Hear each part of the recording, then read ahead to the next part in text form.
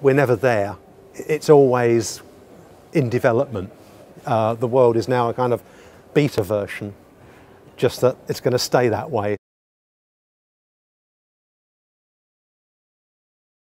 So if you look at the Arab Spring, for example, in Egypt, and I know, you know, three years, four years down the line, the Arab Spring isn't quite what it started out as, but if you look at just the um, the presentation of the Arab Spring, it was about the static structures of government, of government, uh, of the static structures of political organisation, the hierarchies of political organisation, say, especially in Egypt, being challenged by the people at the bottom.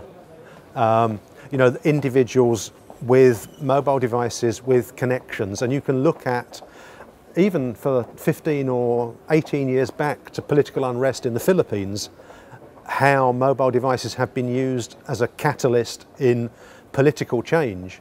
You know, and so I've, i wrote an article about a kind of Arab Spring of education, you know, where you look at the static institutions, the static professions, the static curriculum, and then on the other hand, the fluidity or the mobility of just everyone or everyone else, um, you know, creating their own organisations or their, you know, and very, very fluid. You know, um, a Finnish researcher has talked about wildfire, you know, just like kind of information communication networks just springing up and springing down, you know, just, um, or has talked about uh, kind of bird migration, you know, as, as, as that as a very as another metaphor for the kind of social change that we might be seeing in ways that you said manage. Well, actually, that we can't manage.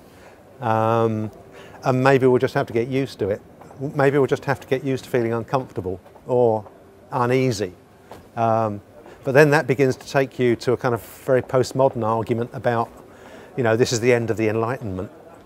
Um, this is what we started in, I don't know, 1789 with the French Revolution, you know, thinking that our brains could organise everything for us and everything would be simple and we could kind of figure out what was cause and what was effect and what was good and what was bad and all of a sudden uh, it's a much more fluid and chaotic world. Uh, a um, Polish sociologist talks about um, liquid modernity, kind of meaning everything's fluid and everything's changing.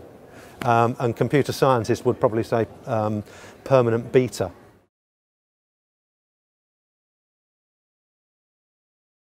In terms of the established press, Ministry of Information, BBC on the one hand, you know, the old world. And then on the other hand, you have citizen journalism. People using camera phones and sharing on Facebook to generate their own news coverage and clearly, you know, there's a myth or a mythology that that's now democratic. Well, of course, it's not democratic. Um, they're using the technologies of American corporations. They're using Google um, and they're using YouTube.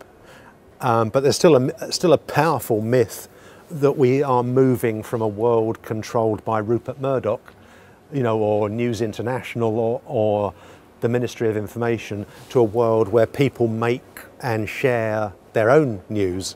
Like I say, if you look slightly more deeply, it's not, it's not true. Um, it's being controlled by, like I say, Google or nevertheless, it's a new way of uh, producing and consuming um, and transforming and sharing news. I mean, I don't think the BBC produced the truth. Um, and I don't think any particular government Ministry of Information produces the truth. They may produce a consensus, or they may represent a consensus. They may actually represent the views of rich or powerful people or rich or powerful classes.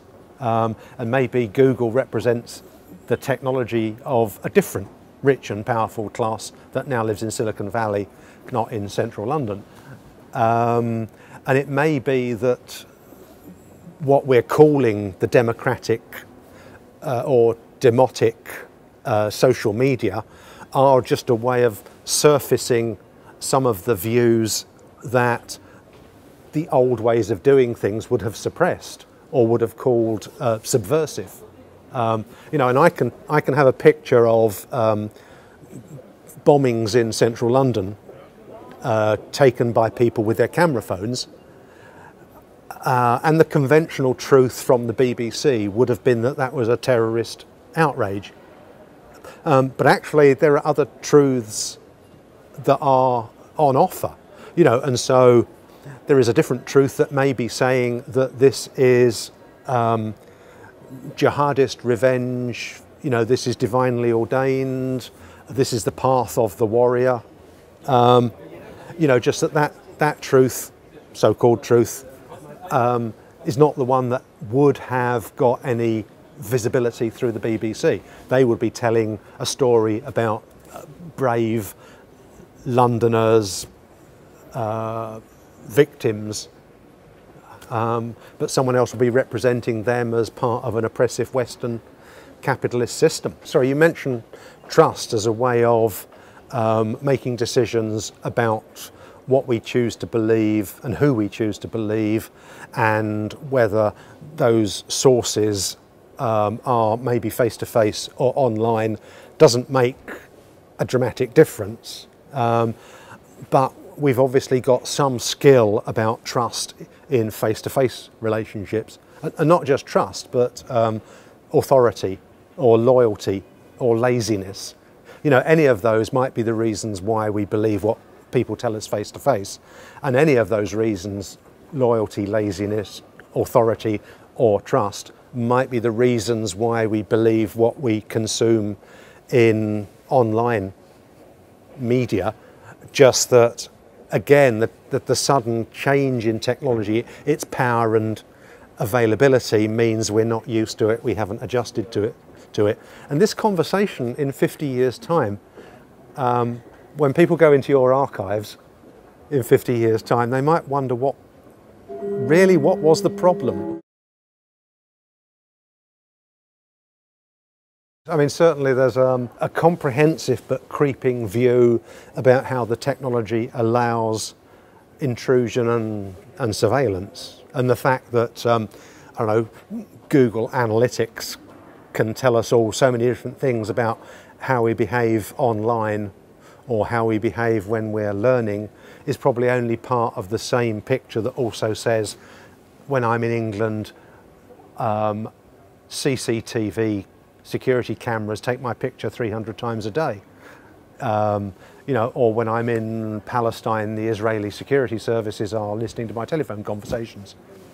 Um, uh, again, it's, I guess it's all part of a, a world which we need the skills and the confidence to get to grip with. And, you know, I don't think it's going to go away and it's not going to stop, and we can't necessarily change much of it.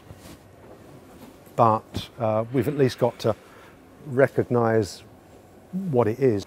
When we consider, when we think about learning analytics, there is a lot of conversation about um, privacy and confidentiality, um, and I think that debate is a good debate and is fairly mature people have noticed that there are ethical dimensions to, to learning analytics. And I think probably the next step should be thinking about the ways in which the learners can be part of those conversations. That maybe that it can be used in better ways to improve what, what you might call their metacognition, so they can understand more about their learning, so they can learn about their learning. Um, and so they can learn about the, the, choices they make in their learning, who should they learn with and what should they learn and when should they learn it and what has worked for them in the past. So I think um, I think it's neutral. You know, there's a there's a lot of possibilities um, and a lot of opportunities, but we need to bring everyone in and explain all of those opportunities and maybe some of the challenges and the problems as well.